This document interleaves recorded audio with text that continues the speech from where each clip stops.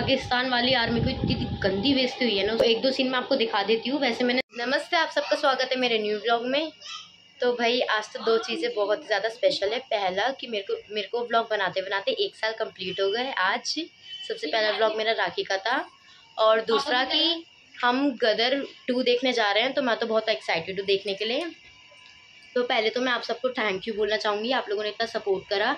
मैंने बिल्कुल भी नहीं सोचा था कि इतने सारे लोग मुझे देखेंगे। आज मेरी वीडियोस वन के से ऊपर है और कुछ टू के को भी क्रॉस कर चुकी। सो थैंक यू और मेरे को लगता था 200 तक व्यूज़ जाएँगे और सब्सक्राइबर भी ऐसे होंगे, लेकिन आज 500 सब्सक्राइबर कंप्लीट होने वाले हैं। क्या पता इस ब्लॉग के बाद हो जाए, इसलिए जल्दी जल्दी सब्सक्राइब करो। फोर एट्टी हो फोर एट्टी हैं अभी। तो जल्दी से वन के करा दो, फिर मैं आपको मोटिव भी बताऊँगी। मेरा मोटिव क्या था ब्लॉगिंग करने का और मैंने कब क्यों स्टार्ट करा, कब स्टार्ट करा, किस लिए करा, सब कुछ। And thank you so much so guys हम पी वी आर पहुँच चुके हैं। हम शालीमार बाग वाले पी वी आर में आए हैं। जगह देख लो, यही वो जगह है जहाँ पे भूतों की फेयर फाइल्स की शूटिंग होती है बेसमेंट में बेसमेंट में। और पता है हुआ कि हमारी जो कार है ना वो तो बचती रहती है मतलब उसको लॉक वॉक सब कर देंगे फिर भी उसकी लाइट बचती रहती है वो ख़राब है। मेरे को तो लग रहा है वॉचमैन अंकल डर ना जाए। मुझे भी नहीं आता सो गाइस ये बहुत डर रही थी वॉचमैन वगैरह सभी इकट्ठे हो गए थे। तो भाई देखो ये जितना भी क्राउड दिख रहा है ना ये सारा गदर टू के लिए ही दिख रहा है। सब लोग बहुत एक्साइटेड है हमारे पास ऑडी खुल जाए फिर हम भी जाएँगे उसमें सफ़ाई वगैरह हो रही है की है थोड़ा सा टाइम और दस पंद्रह मिनट और फिर हो जाएगा चीज़ दिखाती चूड़े दिखाओ स्पेशली कदर देखने के लिए ये वाली चूड़े पहन कर आए हैं क्योंकि देश देश से रिलेटेड कंट्री से रिलेटेड मूवी है तो इसलिए यही पहनेंगे देश के ऊपर पिक्चर है हाँ हाँ मैं पंद्रह अगस्त पे पहनूँगी अब मूवी स्टार्ट होने वाली है। हम लोग बहुत एक्साइटेड है और बड़ी मुश्किलों से सीट मिली है। ऑनलाइन हमने बुकिंग करा ली तो मिल भी गई, वरना मिलती भी नहीं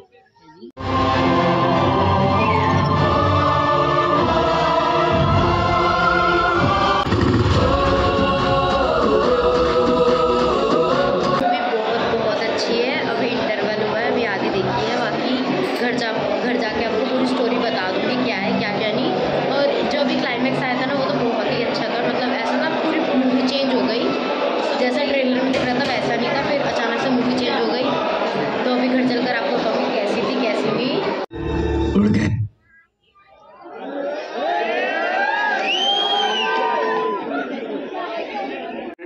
We are sorry for this inconvenience course. Appreciate your cooperation. Projector में कोई प्रॉब्लम आ गई तो अब सब लड़ रहे हैं यहाँ। प्रोजेक्टर चालू नहीं हो रहा अब सब लड़ रहे हैं। उन्होंने कहा था थोड़ी देर लगेगी और एकदम मेन सीन पर जाकर लड़ाई हो गई। प्रोजेक्टर में कोई प्रॉब्लम आ गई तो अब सब लड़ रहे हैं यहाँ पे। उन्होंने कहा था थोड़ी देर लगेगी और एकदम मेन सीन पर जाकर लड़ाई हो गई। दिल्ली की पब्लिक ऐसे पागल है। तो रात हो रही देखना सब ये देखो। इतना बड़ा वो है फिर भी कर रही हूँ? चलो फन पे। पहले ना फन या लिबर्टी पे जाने की सोच रहे थे लेकिन फिर जब हमने पेटीएम इसका प्रभाव इंसान भाई ये क्या है? फिर हमने आ गई आ गई आ गई आ गई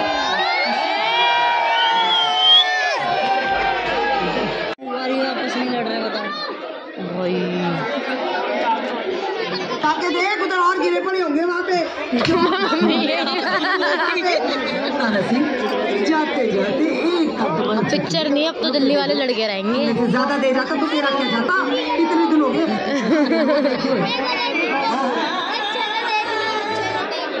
फिर रोक दिया। अरे नहीं चलने दे रहे ना पब्लिक पागल हो गई खामे खामे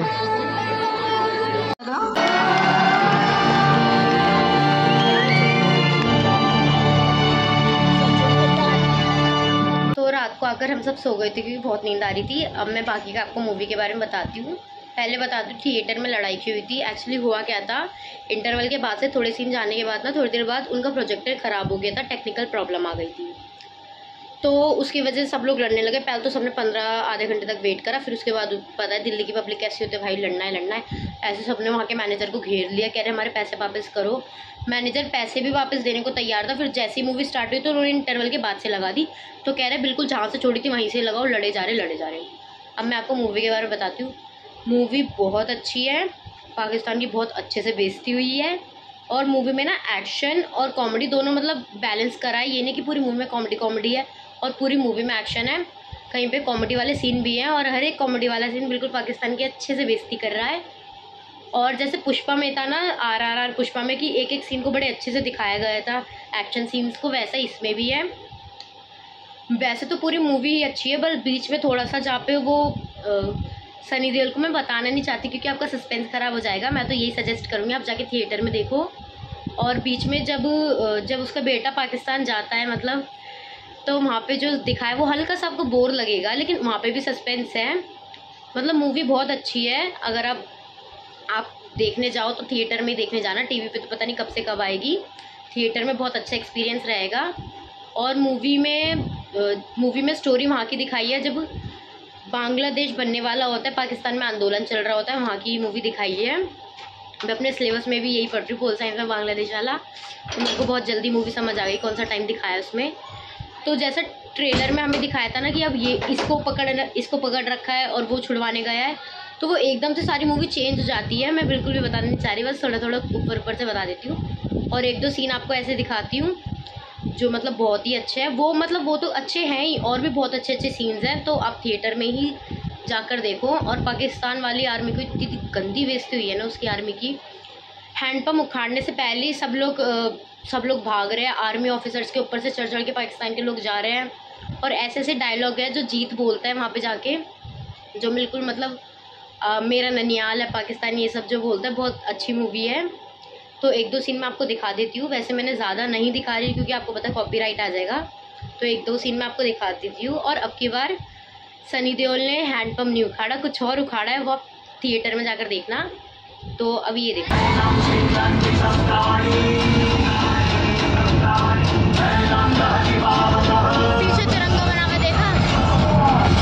इतने अच्छे मतलब पहली बार सनी देओल की एक्टिंग सबसे अच्छी काम इन्होंने जो करा है, गाने पुराने रखे। जो बिल्कुल फ़ेमस गाने तो उनको पुराना ही रहने दिया उनकी लिरिक्स में कोई चेंज नहीं करा, जिससे गाने बहुत अच्छे लग रहे हैं। और जो भी जितने भी एक्शन सीन थे, ज़्यादातर ज़्यादा सनी देओल को दिए, क्योंकि पहली बात उनकी एक्टिंग सर की अभी तक अच्छी है, तब सब तक चेंज नहीं हुई। अभी कोई कह नहीं सकता कि वो बुढ़े हो गए, उनकी एज हो गई। इतने अच्छे से उन्होंने प्रेजेंट करा अपने आप को।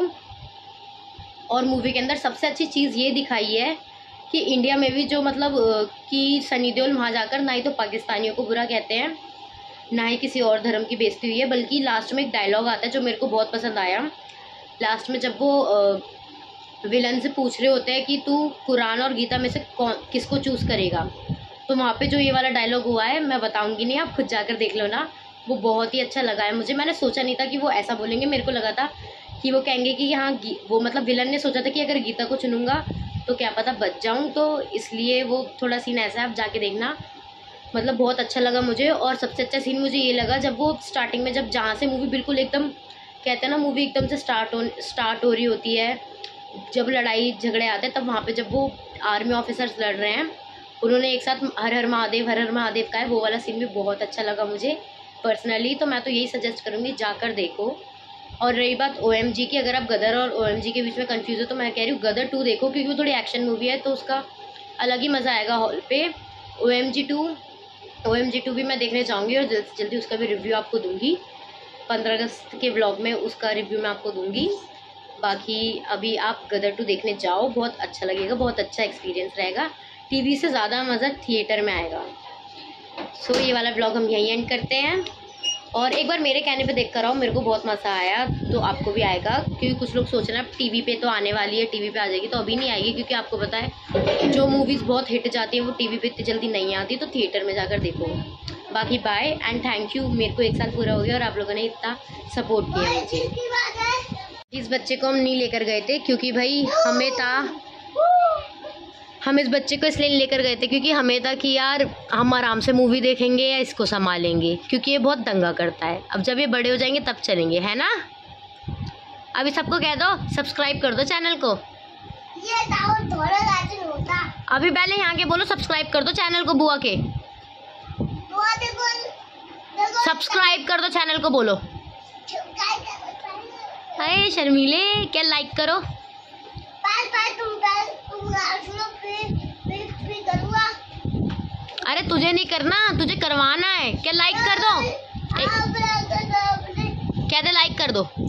लाइक कर दो